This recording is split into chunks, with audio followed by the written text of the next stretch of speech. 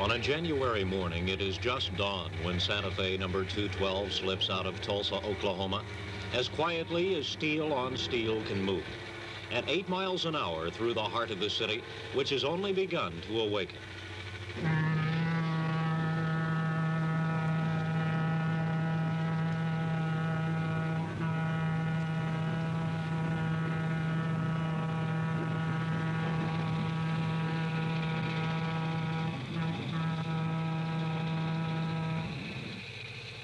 It does not leave from the station. The station has been closed for several years. It leaves from the freight depot where a freight agent finds time to sell all the tickets required.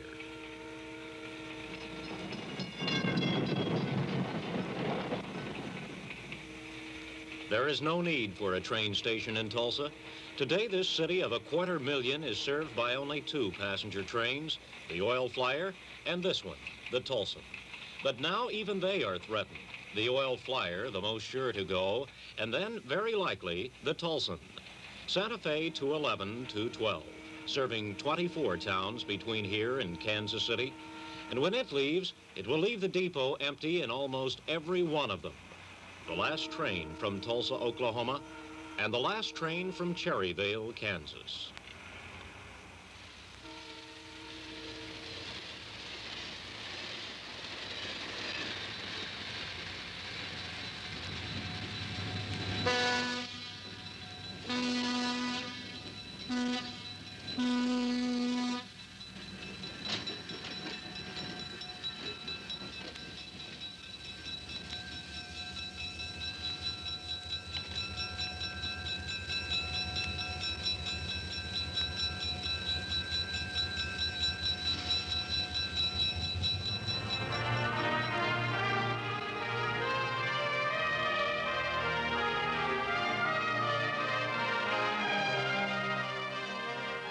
News and Public Affairs Departments of KCMO Broadcasting present The Last Train from Cherryvale.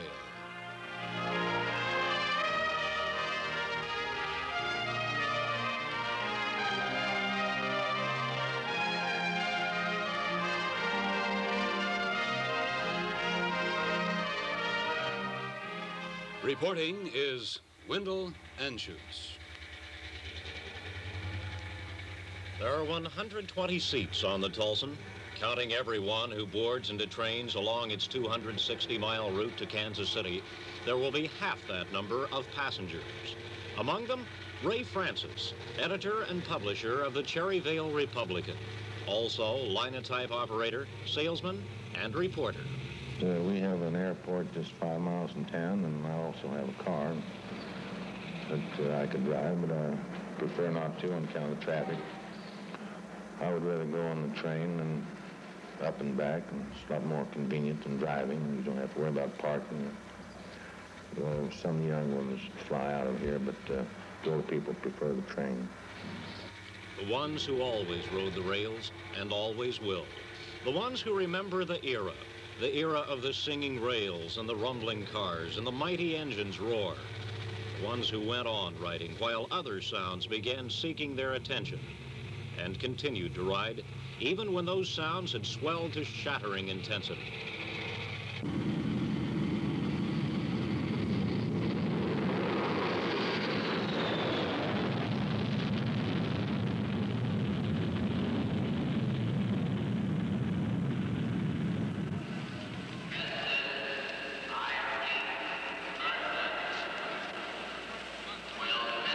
It was one of those slow evolutions that didn't draw much attention to itself while it was happening.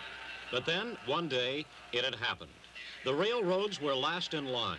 For every passenger who rode the rails, five were riding the airlines. For every two who rode the train, three were riding the bus. As the machinery of free enterprise is healthy competition, the product often is progress. And the progress transforming the transportation industry had resulted in almost no competition at all.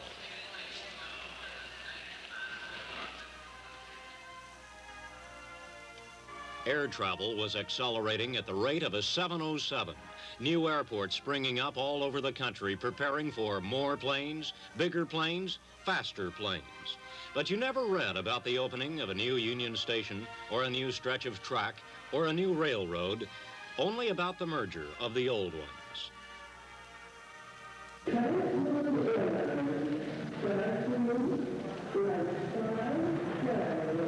And the railroads, which once introduced smartly dressed hostesses to counter the stewardess, now have acknowledged the facts.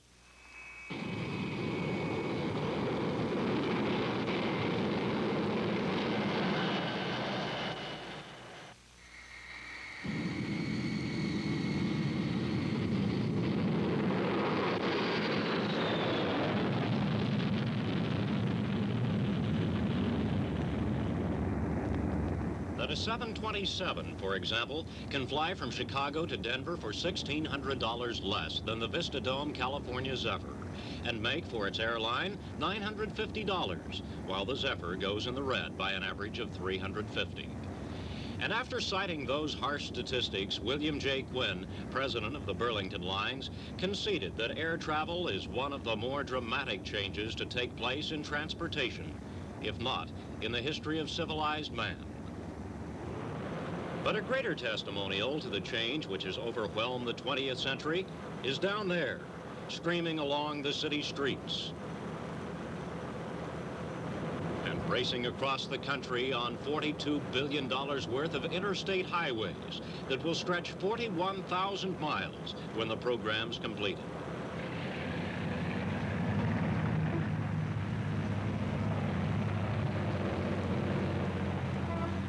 Today, the interstate system is only about half completed, but already it has revolutionized American transportation. That same Commerce Department study, which shows airlines doing five times the business of railroads, shows the family car carrying nine times the intercity travelers of all commercial transportation combined. When the first passenger train went into service, the automobile didn't even exist. Today, it is a necessity because of a healthy economy which the auto industry itself helped create, it has become possible for almost everyone to own a car. The only problem is that almost everyone does.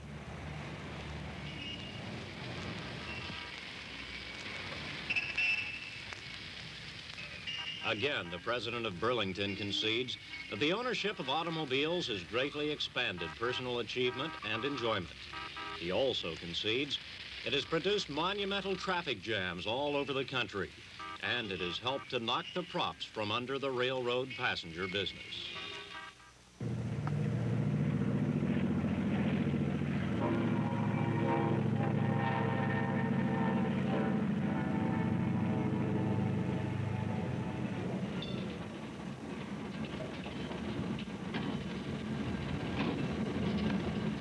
Across the flat Kansas farmlands, number 212 still holds its own against anything else that moves on land. It's still 90 miles an hour between cities.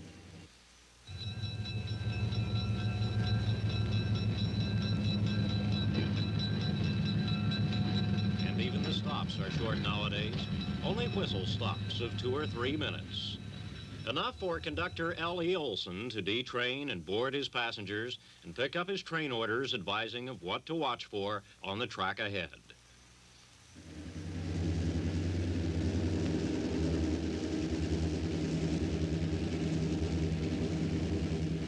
Number 212 is running on time this morning, 33 minutes between Cherryvale and Chanute.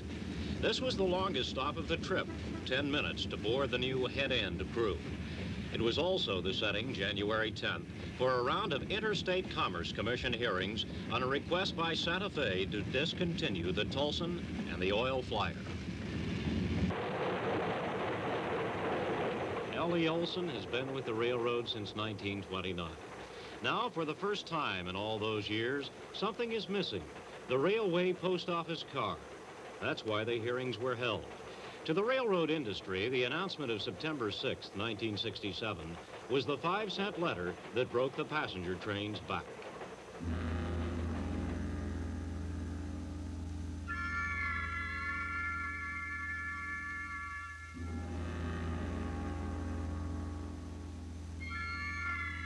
On January 12th, the phase out was completed. And in the Kansas City Terminal Railway yards, a lone workman set about dismantling the fixtures of the last combination RPO and baggage car to come off the Kansas City Southern lines. The end of phase one in the government plan to cut costs and improve mail service. The post office is establishing a system including air transportation of first class mail, which it says makes sorting on the train unnecessary. Even with the giant strides in other forms of transportation, the railroads had managed to maintain a marginal passenger operation, usually at a slight loss. But now the backbone of their passenger revenue was broken. The railroads would continue to carry mail, but now nearly all of it would go by freight, and there would be no more sorting en route.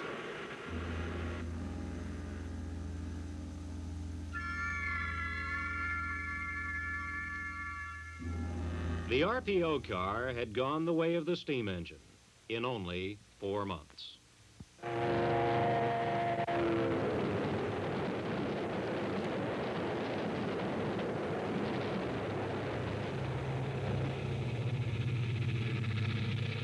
If there were an earth tremor at 1020 this morning, the people of Welda, Kansas wouldn't know it.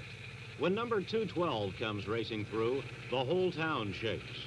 This morning, the Tulsan is running on time just like the old days. And somehow, there's a little irony in that at a moment when its future looks so hopeless. The fact is that the very mail car which once provided 212's lifeblood also had become the stone around its neck. If trains didn't carry mail, they didn't make money. So they'd wait in every station as long as it took to load it on board. On time or not, a train without a mail car means a delay for Ray Francis.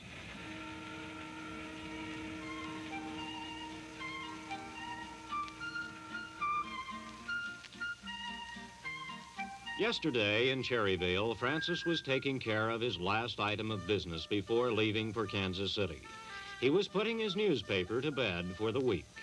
Rock City is just 25 miles west. They have a nice little weekly newspaper over there. He mails his papers the same time I do on Wednesday afternoons. I get, I get his paper until Saturday. And I used to get it the next morning. And over in the west, uh, around Sedan over there, the uh, newspaper publisher over there, uh, Sam Shade told me that it took two days to get a letter from Sedan to Moline, only 20 miles away. Cherryvale was once a town of 5,500. But in the last quarter century, the population has dwindled to little more than half that size. And to Francis, the impending end of the passenger service here is just another step in the strangulation of the small town.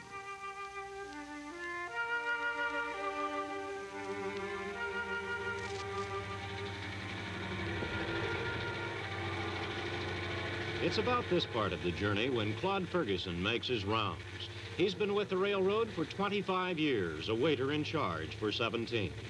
During that period, he says, he's noticed the change.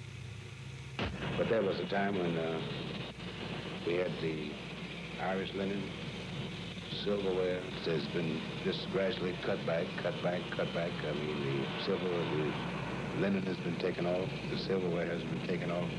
The menu has been changed, and uh, we used to have three and four course dinners. Now, seemingly everybody's in a hurry, and they just bring it out and set it down. They, they don't take time. Everybody's in a hurry. After the war, during that period when the airlines began creeping ahead of the rail passenger service, the rail lines waged a vigorous campaign to win their passengers back. But the public continued gradually to turn away. Ferguson has watched it happen. Well, I think a few years ago, somewhere way back here, they stuck into the dictionary the word progress.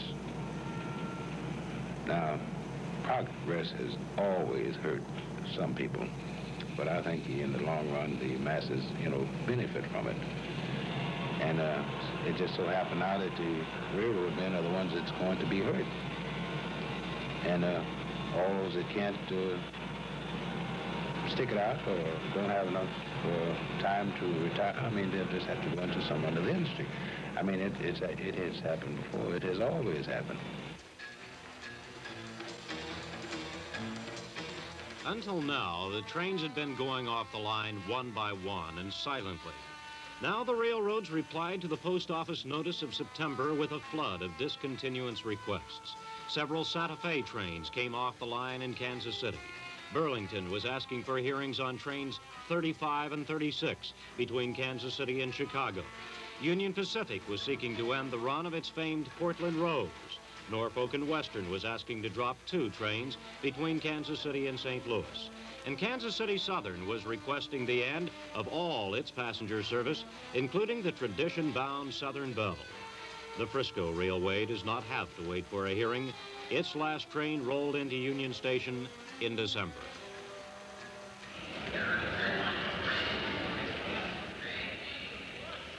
Even Superintendent Bill Apple wouldn't pretend that Union Station was not suffering. More than 200 trains a day rolled in and out of Kansas City's new showpiece when it opened with a two-day celebration in 1914. Today, there are 66, but railroad men underlined one point so hard it would break the point off a railroad spike. Even if every request for a discontinuance is granted this year, which is not likely, the railroad passenger service is not dead. Even if the number of arrivals and departures is halved again, Union Station plans to stay in business. And not as a shopping center or a railroad museum, but as it started in 1914, as Union Station. Just last year, the Kansas City Terminal Railway, which operates the station yards, spent thousands of dollars for a giant train wash. It constantly replaces its switch engines with the latest available. And the same is true of the entire rail passenger industry.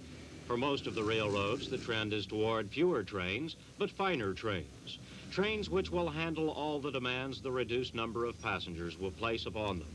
Trains with smooth riding high-level cars, plushly carpeted sky domes at no extra fare, relaxing club cars, and spacious diners.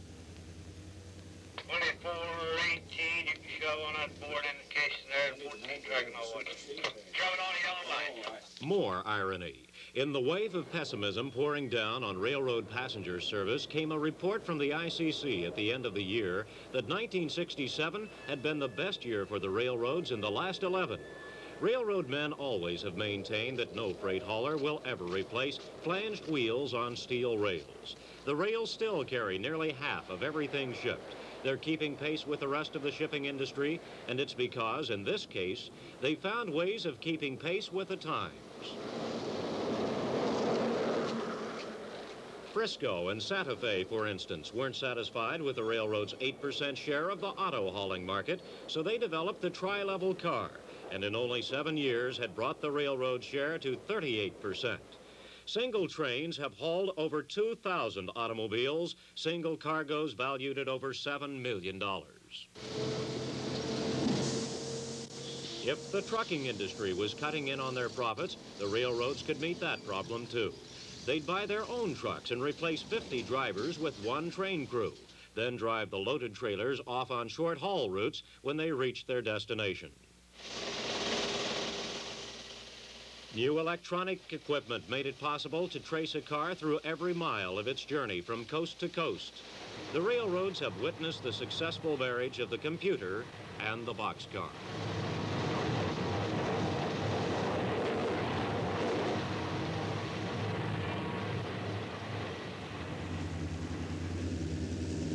The Santa Fe tracks follow a curious course through Ottawa, right down the middle of the street through the heart of town, past the rows of white frame houses, over the river, past the old steam engine sidetracked forever by the station.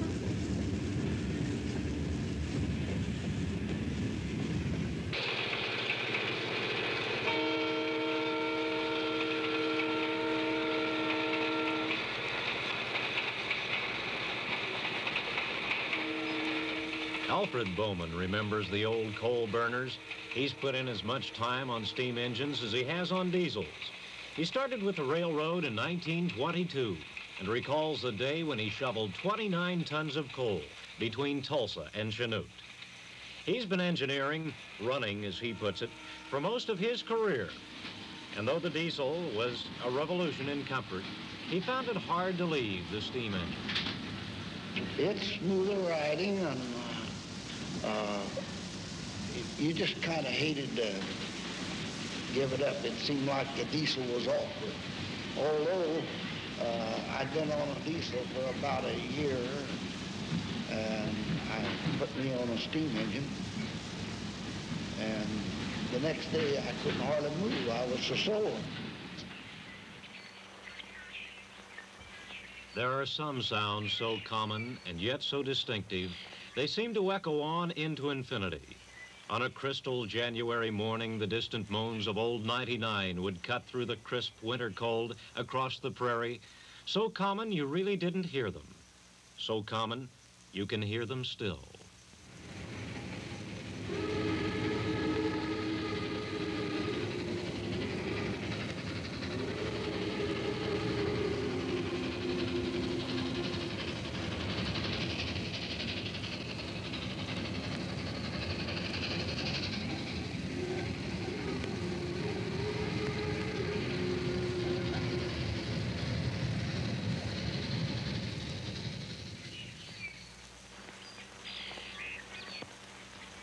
Old 99 and all those like her are gone forever. The last of the great iron horses. Some of them, a very few, turned out to pasture, to museums and city parks, to those great collectors of the ingenious gadgetry which time has branded useless.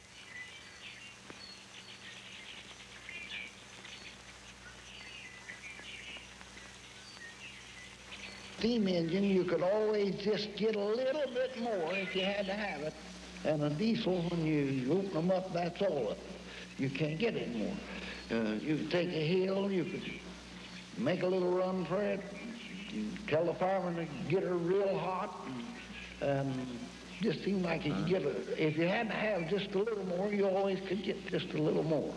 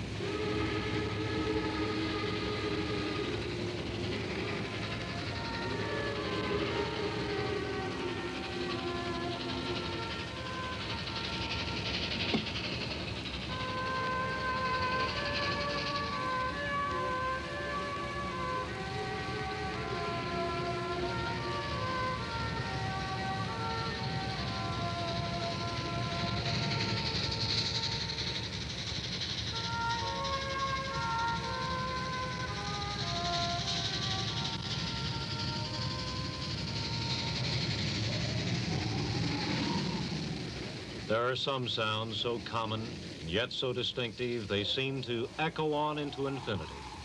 Sounds that are only the wind.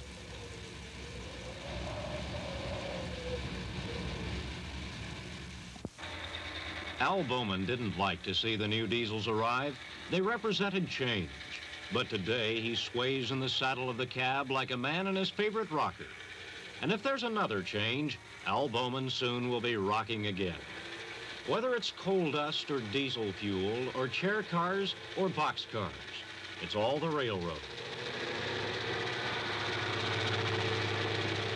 And so, the train pulls out of Olathe, last stop of the trip, toward a destination which, one uncertain day, will become its last. But today, it is Santa Fe 212, regularly scheduled passenger service between Tulsa, Oklahoma and Kansas City Union Station. And today, it's running on time.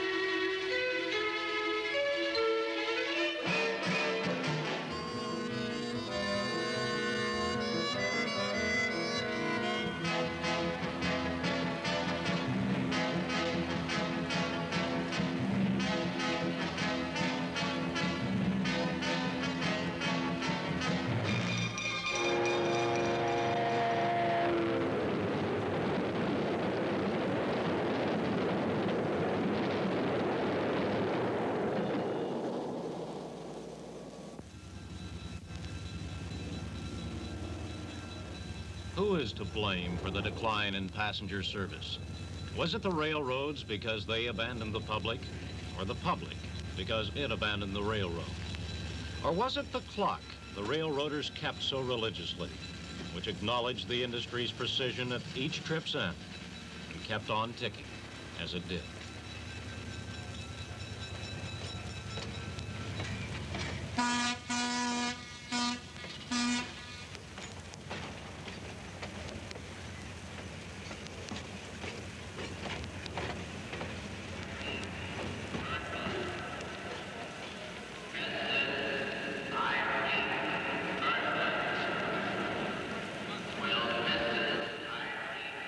Last Train from Cherryvale.